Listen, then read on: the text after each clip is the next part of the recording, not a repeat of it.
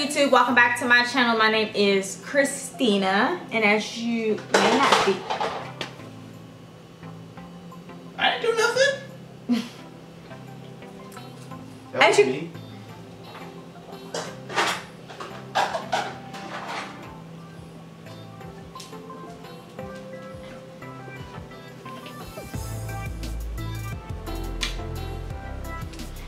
Can tell from the title, that today is wash day for me. I have been wearing a wig for two weeks, and I went swimming yesterday, and now, now it is time for me to go ahead and wash my hair.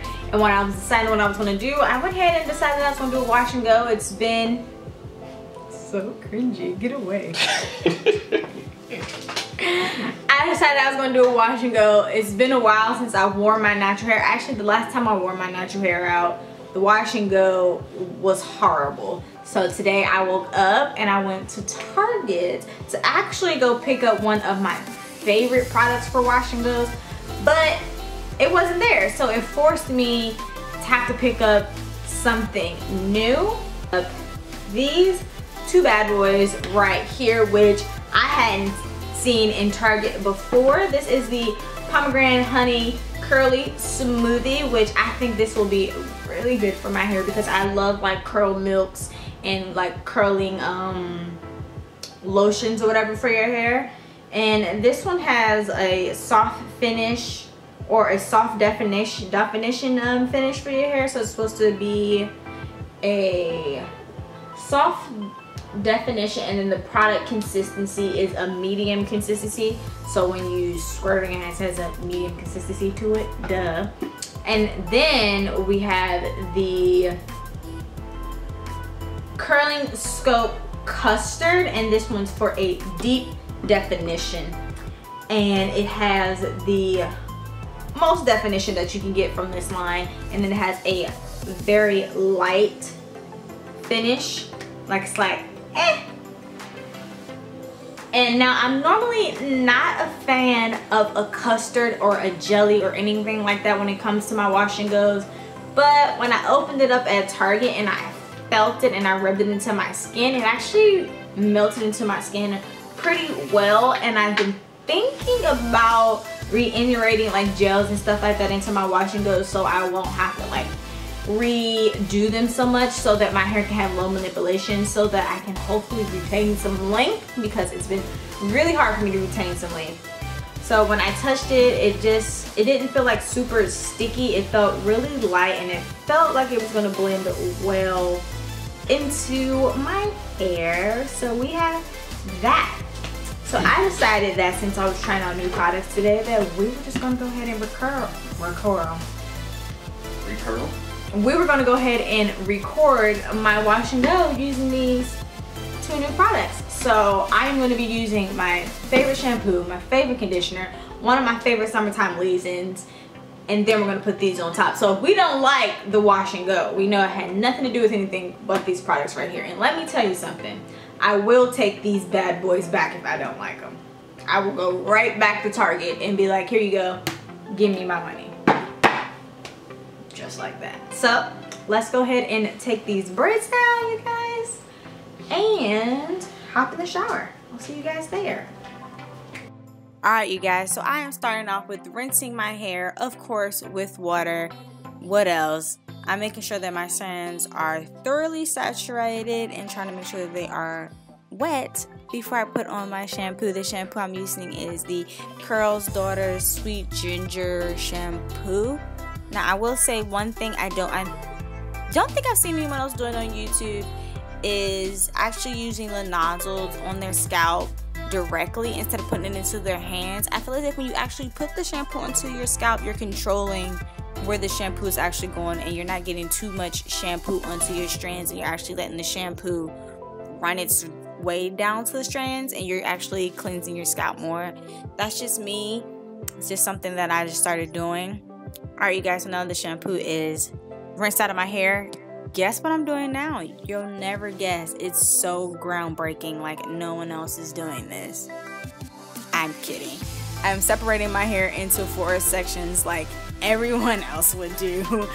Just a joke. Um, I'm going to put in one of my favorite conditioners that can also be a deep conditioner, which is the Shea Moisture. I believe it's like the intense hydrating conditioner.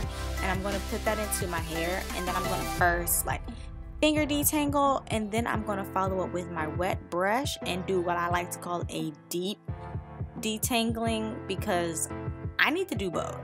I feel like if I do both and get the big knots out with my hands, then I'm not stagging my hair as much with the brush. And when I detangle with the brush, I'm getting all the knots out and I don't have to worry about like any tangles or any single knots or anything like that. So I am just here demonstrating it for you guys again, but don't worry, this will be the last time you see me detangling my hair in this video. I know it can get a little boring after a while. So I'm finger detangling here once again. And I tried so hard like not to make any ugly faces while I was detangling my hair, but sometimes, you know, it hurts. so it is what it is.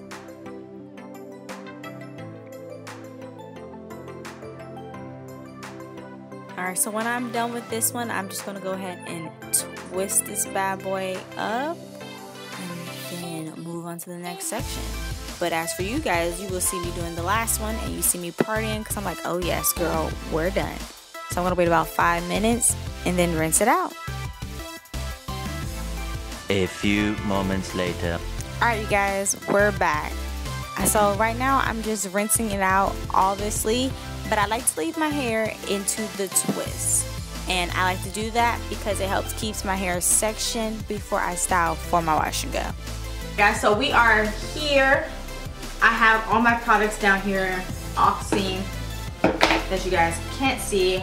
And I am using my favorite leave-in conditioner. So like I told you guys if the wash and go wash and go don't come out right I already know it's these products. Um, so yeah what I like to do is I like to work section by section on my wash and goes. Um, my hair is like slightly a little dry it's not completely soaking wet which will hopefully help my hair dry faster hopefully. Um, what i'm actually going to do really quickly is i'm going to test my leave-in conditioner that i'm going to be using and the styling custard together. Just the styling smoothie and custard together just to make sure that everything's going to blend together nicely. And i learned this trick from Mo Knows Hair is you just take a little bit of each product and I actually hope this is good because I'm gonna have to think of another leave-in conditioner to do. So let's pray this works out well, you guys. And we're gonna mix these together. And as long as they melt into my skin and don't create an ugly cast, then they should mix together good in your hair. Which I'm thinking they're gonna, they're gonna be fine because it's not creating an ugly cast on my hand and it's melting into my skin really nicely. So there we go. That is one way where you can tell you can tell if your hair is to flick up or not if you're cocktailing products. So that's that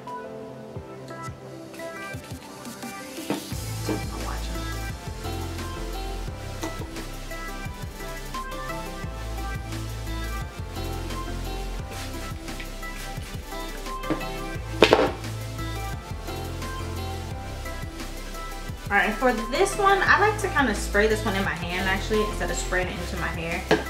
Spray in my hand and then work it into my hair.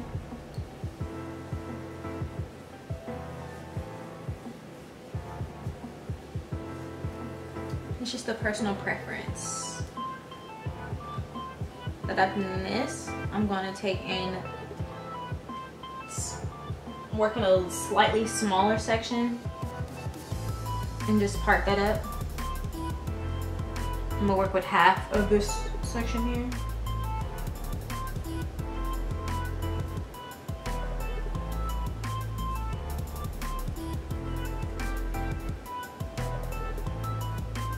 Take the curling smoothie now and take about that much and work that into my hair.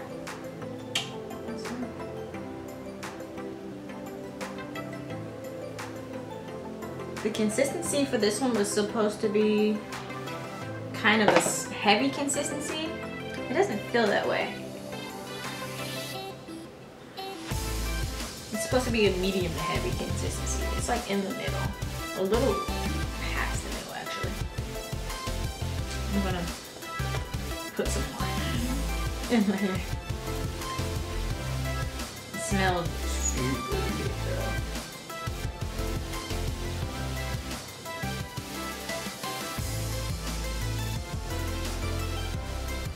that feels a little bit better.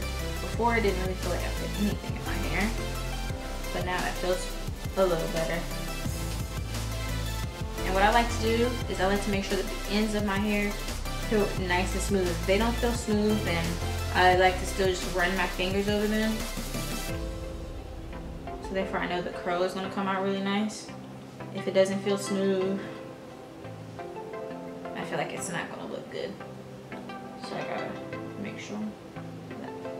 Now I'm gonna just go back into this other section that I twisted up and I'm gonna do the exact same thing. I'm gonna use this leftover product on my hand first before I get some more.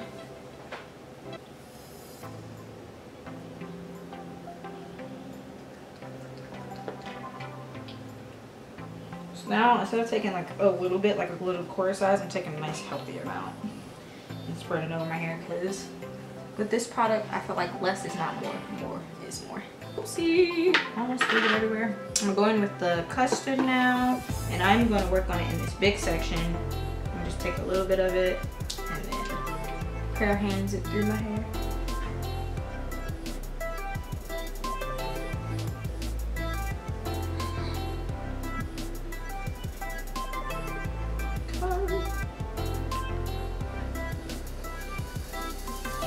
Guys, so I am done putting the product in my hair for now. From looking at it just now in my bathroom, I think I'm going to be happy with it. I like the way that my curls are looking from, you know, the roots down to the ends.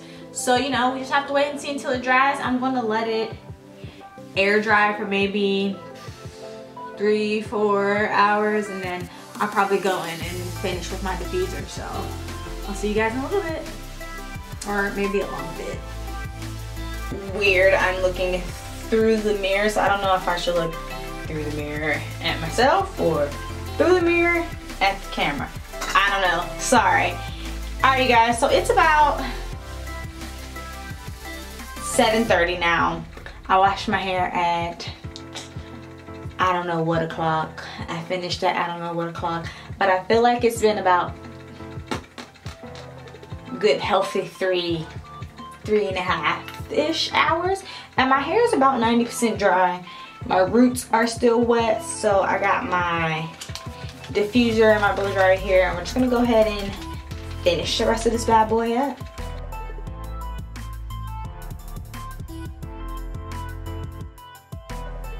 Alright guys, so that was about 10 minutes of my life. Not that bad. I thought it was way longer than that actually.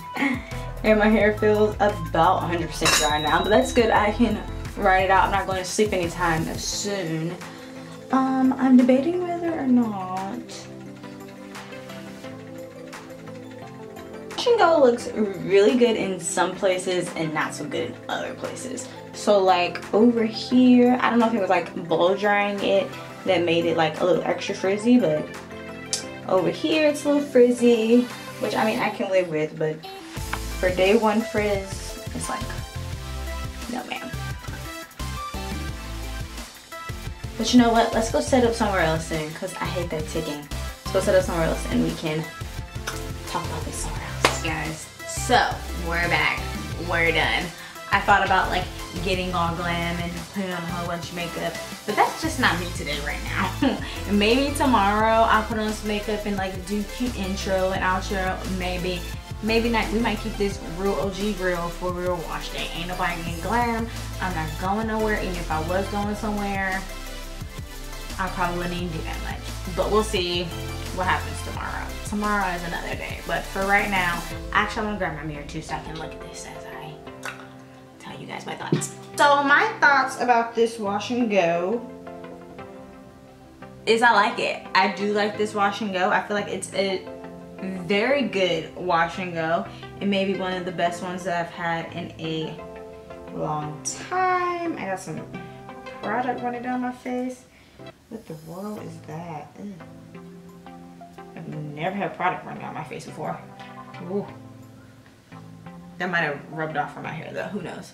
Um, like I was saying before, there are some parts that I feel like got a little frizzy, but that might have come from me blow drying the hair and me constantly like touching my roots to see if they were completely dry because like over here, this curl is like a little frizzy and honestly, it's, it's honestly on this side. So when I was doing my hair, I cut it out of the video when I was editing because it started to get really repetitive and I didn't want the video to get boring. Like we've all seen someone wash their hair before and condition and detangle and all of that. So I cut a lot of those scenes out of my video so that it wouldn't be boring and repetitive and so we can just get down to the meat, the product, the nitty the gritty, which I wanted to know about, the actual wash and go.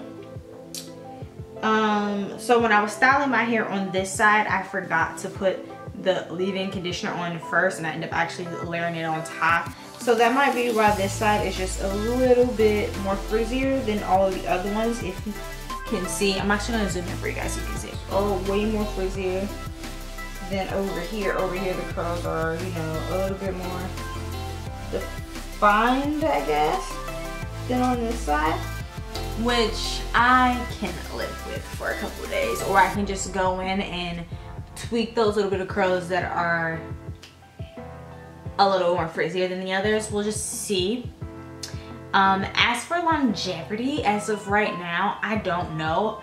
I use the heavy holding product, the, the custard, and my hair doesn't feel heavy at all. Honestly, like as I shake it, I have so much movement. Let me zoom you guys back out. I have so much like movement in my hair. I can shake it and it, and it moves. Normally when I put like a gel or a custard in my hair, I don't have this this movement. I have like a lot of stiffness and I have to like go in and break the gel cast, which is why I don't really like gel.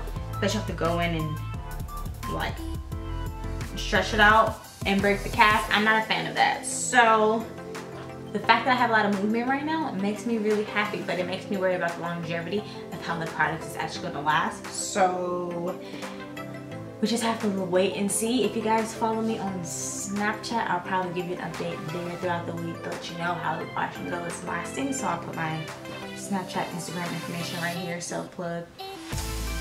Self-plug. Um, super happy with it.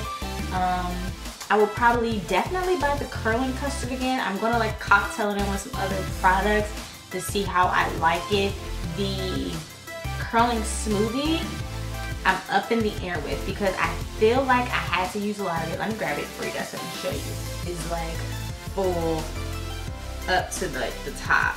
Right now, the product is like down here. So I feel like I use I can use all of this and let's see, one, two, three, four washes. I can use all this in four washes, which could be a month.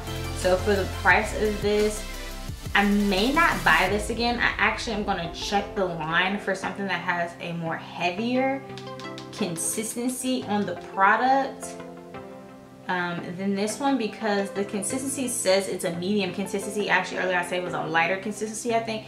And this one's like smack dead in the middle for a uh, consistency. And I wanna find something that's a little bit on the heavier side. This just felt like I was putting nothing in my hair and I had to use like four or five pumps per section in my hair in order to make it feel like it was actually doing something. I mean, now that I have it, I'm going to use it. I'm not going to take it back. I do like it. I don't think I like it enough to buy it again. As for the curling souffle, like I said, I'm going to mix it in with some other products to see how it acts. But right now, I think I'm happy with it. I'm really happy with it, actually. So for that being said, you guys, I think we're done. I'll see you guys next time. If you enjoyed this video, go ahead and give it a thumbs up. Please don't forget to comment down below if you have any questions, comments, or concerns, or anything that you want to let your girl know. Subscribe to the channel. And I'll see you guys in the next video. If you have not already checked out my previous video, you can check that out here. But until next time, I'll see you later.